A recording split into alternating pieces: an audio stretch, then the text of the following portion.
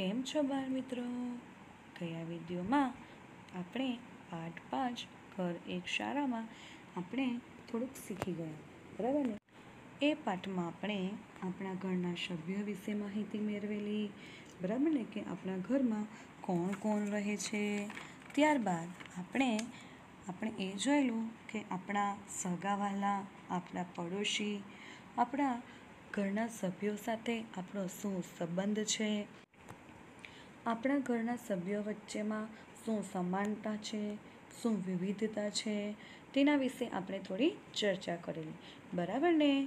તો ચાલો હવે આપણે આ પાઠને આગળ સમજીએ અને આપણા કુટુંબના સભ્યો વિશે બીજી થોડી ચર્ચા કરીએ. ફ્રેન્ડ્સ ચાલો આજે આપણે અહીંયા એક ગેમ રમીએ. એ ગેમનું નામ છે શ્યામ સુંદર. તો પહેલાં આપણે ગેમ કઈ રીતે રમવાની છે? તે જોઈ લઈએ.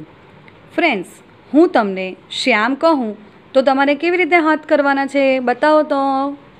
વેરી ગુડ અને હું તમને સુંદર કહું, તો તમારે કેવી રીતે મને હાથ બતાવવાના છે? ફાઇન બરાબર છે. ફ્રેન્ડ્સ આ ગેમમાં જો તમે ભૂલ કરો, તો હું તમારું નામ બોલીશ, બરાબર? તો તમારે ઊભા થઈને બહાર નીકળી જવાનું રહેશે. સમજ પડી ગઈ? ઓકે ચાલો તો આપણે આ ગેમ સ્ટાર્ટ કરીએ. શ્યામ. શ્યામ. સુંદર. સુંદર. શ્યામ. સુંદર. સુંદર. શ્યામ. શ્યામ. શ્યામ. સુંદર. શ્યામ. શ્યામ. ઈશિકા વોટ. બરાબર ને? શ્યામ.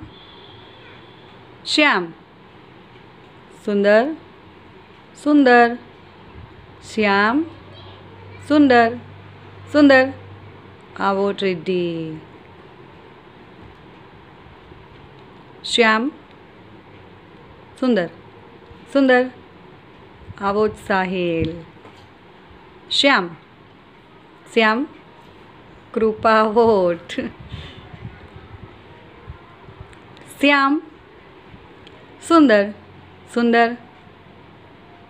નીલાવોટ હેટવી ઇઝ વિનર એટલે કે હેટવી જીતી ગયા ગેમમાં. કોંગ્રેચ્યુલેશન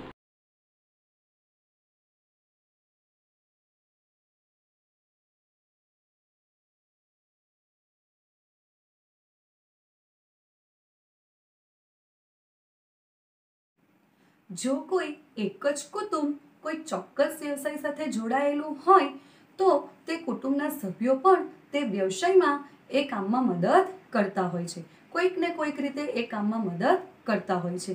જેમ કે અહીંયા હું આપણે એક ઉદાહરણ જોઈએ. એક સલમાન નામનો છોકરો છે અને તે તે સલમાનના જે વડીલ સભ્યો છે તો એ લોકો ધોબીનું કામ કરે છે. તો ચાલો આપણે જોઈએ કે જે એ ઘરના જે બીજા બધા સભ્યો છે તે આ ધોબીના વ્યવસાયમાં એકબીજાને તે લોકો કેવી રીતે મદદ કરે છે? જુઓ બાર મિત્રો, અહીંયા આ સલમાનનું કુટુંબ છે. સલમાનના પપ્પા એ ધોબીનો વ્યવસાય કરે છે. માટે ધોબીના વ્યવસાયમાં સૌથી પહેલાં કપડાને ધોવા પડે. તો એના પપ્પા કપડાં ધોવા જાય છે, તો સાથે એના ઘરના સભ્યો પણ એ કામમાં મદદ કરવા લાગે છે. જેમ કે અહીંયા ચિત્રમાં આપણે જોઈએ છીએ કે સલમાનના પપ્પાએ કપડાં ધોય છે, તો સાથે સાથે બીજી કોઈ એક સ્ત્રી છે, તે પણ કપડાં ધોવા લાગે છે. અને બીજી એક સ્ત્રી છે, તે કપડાંને સૂકવવા લાગે છે. તો વળી કોઈક એ કપડાંને ઇસ્ત્રી કરવામાં પણ મદદ કરે છે. આમ કરવાથી કામ ઝડપથી અને સરળતાથી પૂરું કરી શકાય છે. માટે જ ફ્રેન્ડ્સ આપણે પણ આપણા ઘરના બધા જ સભ્યોએ હળીમળીને આપણા ઘરનું કામ કરવું જોઈએ, જેથી આપણે પણ ઝડપથી અને સરળતાથી કામ પૂરું કરી શકીએ છીએ. ફ્રેન્ડ્સ આ ઉપરાંત આપણે પણ આપણા ઘરના સભ્યોને રોજબરોજ કોઈકને કોઈક કામમાં મદદ કરવી જોઈએ. તો હું તમને પૂછું છું કે તમે તમારા ઘરના સભ્યોને કયા કયા કામમાં મદદ કરો છો? બોલો તો સામો સામો મદદ કરો છો? જેમ કે કોઈ ઘર વાળવામાં મદદ કરતું હશે, કોઈ પોતું મારવામાં મદદ કરતું હશે, કોઈ નાના નાના કપડાં ધોવામાં તો વળી કોઈક વાસણ ધોવામાં મદદ કરતું હશે ત્યારબાદ કોઈ છોકરો હશે તો તે મમ્મીને દુકાનેથી કંઈક સામાન લાવી આપવામાં મદદ કરતો હશે. આ રીતે તમારા જેવા બાળકો નાના નાના કામ કરીને તમારા મમ્મી પપ્પાને મદદ કરી શકો છો. તમારા જેવા બાળકો કુટુંબના સભ્યો પાસેથી અલગ અલગ બાબત શીખતા હોય છે. એટલે કે જે તમને નહીં આવડતું હોય તો તે વસ્તુ તમને તમારા ઘરના સભ્યો શીખવતા હોય છે. તમે તમારા ઘરના કોઈ સભ્ય પાસેથી ગીત ગાતા શીખા હશો? કાં તો બીજા કોઈ સભ્ય પાસેથી તમે પતંગ ચગાવતા શીખ્યા હશો? જો તમને સાયકલ ચલાવતા ન આવડતી હોય, તો તમે તમારા ભાઈ પાસેથી સાયકલ ચલાવતા શીખ્યા હશો? આ ઉપરાંત આપણે આપણા ઘરના સભ્યો પાસેથી સાચું બોલતા પણ શીખીએ છીએ. ત્યારબાદ કોઈને મદદ કરવી જોઈએ એ બાબત પણ આપણે ઘરના સભ્યો પાસેથી શીખીએ છીએ. આપણે બધા જ બાળકોએ હળીમળીને રહેવું જોઈએ, રમવું જોઈએ. આ બાબતો આપણે આપણા ઘરના સભ્યો પાસેથી શીખીએ છીએ. આ ઉપરાંત આપણે નૈતિકતાના મૂલ્યો પણ આપણે આપણા કુટુંબના સભ્યો પાસેથી જ શીખીએ છીએ. જેમ કે માતા પિતાનું કહેવું માનવું જોઈએ હંમેશા સાચું બોલવું જોઈએ, વડીલોને માન આપવું જોઈએ. ક્યારે પણ કોઈના ઘરમાંથી કે ગમે ત્યાંથી ચોરી કરવી જોઈએ નહીં.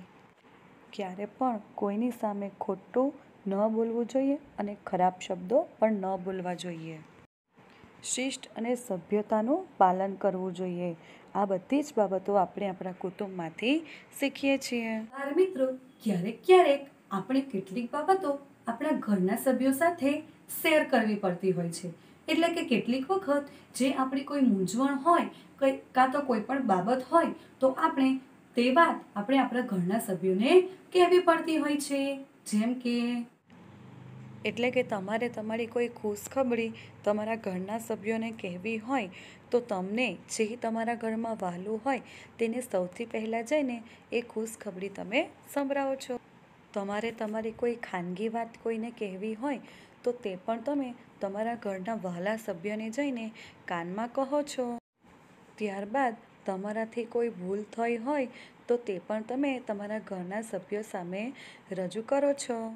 અથવા તો તમે દુઃખી હોવ, તો પણ તમે તમારા ઘરના સભ્યોને વાત કરો છો.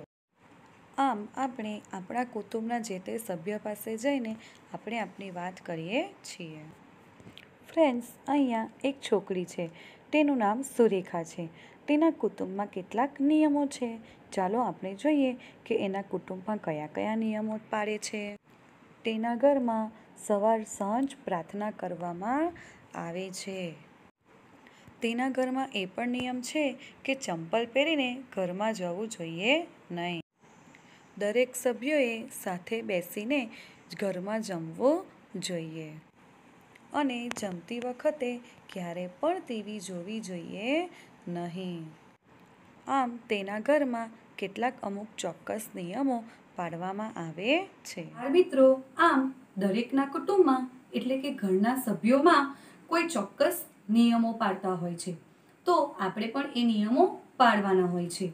તો ફ્રેન્ડ્સ તમારા ઘરમાં પણ કોઈ આવા ચોક્કસ નિયમો છે? છે? કયા કયા?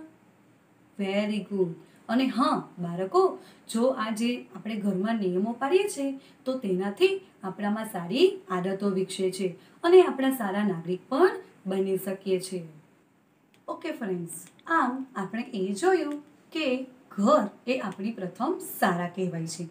એટલે કે આપણે આપણા ઘરના સભ્યો પાસેથી કેટલી બધી બાબતો શીખતા હોય છે અને એ પણ આપણે જુદા જુદા સભ્યો પાસેથી શીખતા હોય છે. તો ઓકે બાય. Thank you